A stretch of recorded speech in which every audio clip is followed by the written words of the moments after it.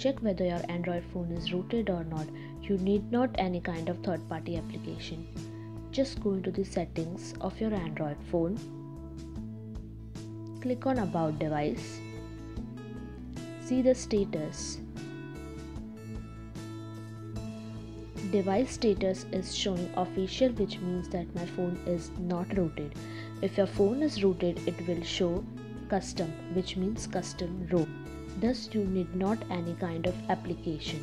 Also these kind of applications are fake.